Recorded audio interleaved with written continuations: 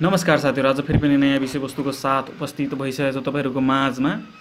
हिजो हामीले बिडिकमको राउटरलाई वायरलेस रिपिटर मोडमा युज गरेर नेट चलायौँ र त्यसको आज फेरि म त्यही रिपिटर मोडमै तर गर्ने गइरहेको छु तर आ हिजोकोमा के भयो भन्दाखेरि हामीले हाम्रो रिपिटर राउटरको वेब पेज ब्राउज गर्न सकिरहेको छैनौँ। जुन चाहिँ ब्राउज हुँदैन त्यो चाहिँ रेन्जलाई मात्रै एक्सटेन्ड बढाउनको लागि जहाँ चाहिँ विक नेटवर्कहरू जान्छ त्यहाँ चाहिँ हामीले त्यसको सहायताले लान सक्ने गरेछौँ। र त्यो भिडियो हेर्नु भएको छैन भने आई बटनमा छ आई बटनमा गएर हेर्नु होला। र आज हेर्न सक्नुहुन्छ कि यहाँ हाम्रो त्यो जुन आफ्नो राउटरको आइपी एड्रेस राख्छु जुन रिपिटर राउटरको त्यो ब्राउज भइरहेको छैन। र यसलाई मैले फेरि आफ्नो राउटरलाई रिसेट गर्दै अगाडिको प्रोसेस गर्नेछु। ल त सुरु गरौँ।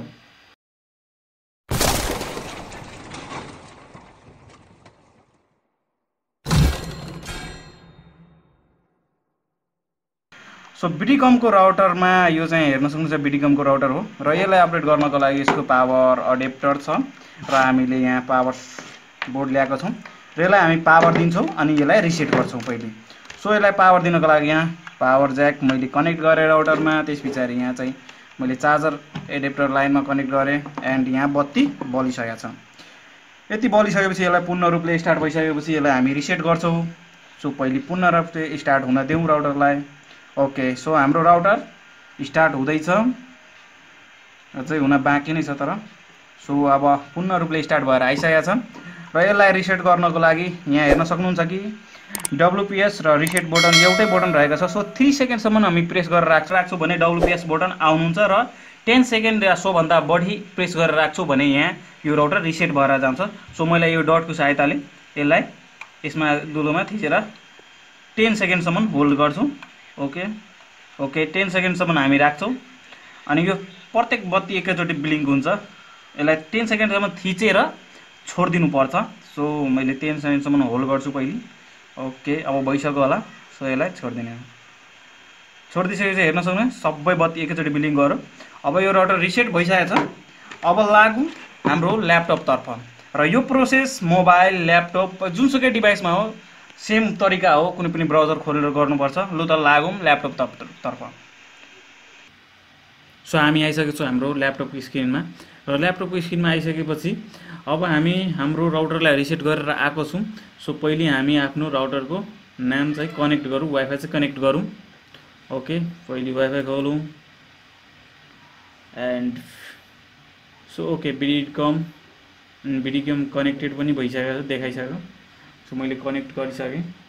केही छैन। एन्ड यहाँ चाहिँ फेरि मैले ब्राउजरलाई रिफ्रेस गर्छु आफ्नो राउटरको सो यस्तो खालको इन्टरफेस आइसकेपछि तपाईँहरू हेर्न सक्नुहुन्छ कि हिजो हामीले यही रिपिटर मोडको प्रयोग गरेर हामीले नेट चलाएको थियौँ र यसलाई सेट गरेको थियौँ जुन चाहिँ हाम्रो मेन राउटरबाट मेन राउटरको पासवर्ड राखेर वायरलेस चाहिँ हामीले कन्फिगर गरेका छौँ आज त्यही वायरलेस चाहिँ कन्फिगर गर्ने तर हामीले डब्लुआइएसपीको थ्रुबाट गर्ने हो। सो डब्लुआइएसपीको फुल फर्म रहेको छ वायरलेस इन्टरनेट सर्भिस प्रोभाइडर रहेको छ।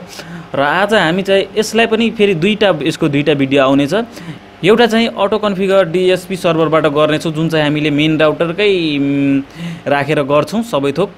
र यसमा चाहिँ हामीले अर्को युजर नयाँ जुन चाहिँ हामी इन्टरनेट प्रोभाइडरकोबाट लिङ्क लिएको हुन्छौँ त्यो चाहिँ वायरलेसै हामीले अर्को राउटर कसरी चलाउने भन्ने बारेमा त्यसको भिडियो म लिएर आउँछु। भोलितिर आउँछ होला।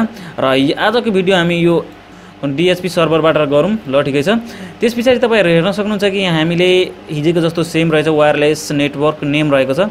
सो यहाँ आफ्नो केही नेम दिन सक्नुहुन्छ र यहाँ चाहिँ सेक्युरिटी डिसेबल रहेको छ। सो आफ्नो सेक्युरिटी चुज गर्नु होला र यहाँ चाहिँ पासपोर्ट राखिदिनु होला। केही पासपोर्ट राखिदिउँ। अनि ओके म यहाँ पासपोर्ट राखेँ। त्यस पछाडि हामीले थोरै स्क्रोल डाउन गर्छौँ तल झर्छौँ र यहाँ चाहिँ पहिले हामीले अटो कन्फिगरेसन त्यही चुज गऱ्यौँ र हामीले अब हाम्रो हटस्पोट भन्दाखेरि कुनको नेम यहाँ आउँछ भन्दाखेरि कुनको युज गर्नेछौँ हामी नेट हो त्यसको चाहिँ हामीले एकचोटि फेरि अहिले पहिले चाहिँ सबभन्दा सुरुमा हामीले साइट सर्वे गर्छौँ। साइट सर्वे गरिसकेपछि हामीले केही नेमहरू यहाँ सो गर्नेछन्। सो ओके यहाँ नेमहरू आइसकेको छ। नेमहरू आइसकेपछि हामीले यहाँ प्रदीप वाइफाई हेर्छौँ। सो यसमा हामीले यहाँ टिक लाउँछौँ सेम प्रोसेस रहेछ हिजोको जस्तो।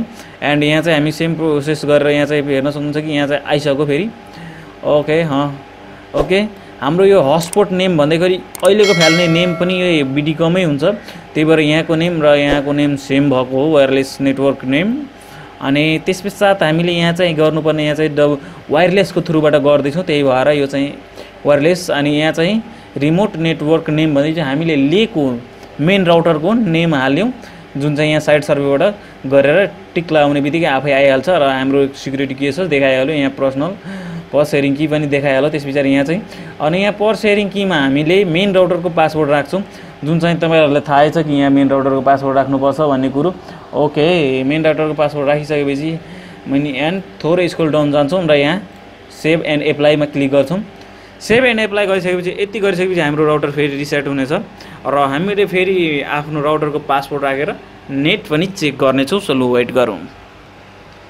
सो यहाँ हामीले पासवर्ड राखेर पनि कनेक्ट गरिसक्यौँ र यसलाई हेर्न सक्नुहुन्छ अब हामीले नेट चेक गर्छौँ। र नेट चेक गर्नुभन्दा मैले ब्राउजरै खोलेर चेक गरेँ। ब्राउजर यहाँ चेक हुँदैछ सो ब्राउजर हेर्न सक्नुहुन्छ कि हाम्रो ओपन हुँदैछ। ओके। सो हेर्नु सक्नुभयो कि हाम्रो ब्राउजर चाहिँ ओपन भएर आइसक्यो हाम्रो राउटरको। अब यसरी चाहिँ हामीले यो राउटरमा पनि कन्ट्रोल गर्न सक्छौँ। म्याक सेट गर्न सक्छौँ। एनी अब जे जति गर्न सकिन्छ र अब हामी चाहिँ अब नेटलाई चेक गर्छौँ। नेट हाम्रो चल्छ कि चल्दैन भनेर यहाँ चाहिँ गुगल ओके। सो यहाँ हेर्न सक्नुहुन्छ कि गुगल हाम्रो स्टार्ट भइसकेको छ। ओके। त्यस्तै गुगल पेजमा जाउँ। हाम्रो गुगल पेज पनि ओपन भएर आइसक्यो। र यस्तै यस्तै भिडियो हेर्नको लागि यो च्यानललाई सब्सक्राइब गरेर जोडिनु होला। हस्त धन्यवाद।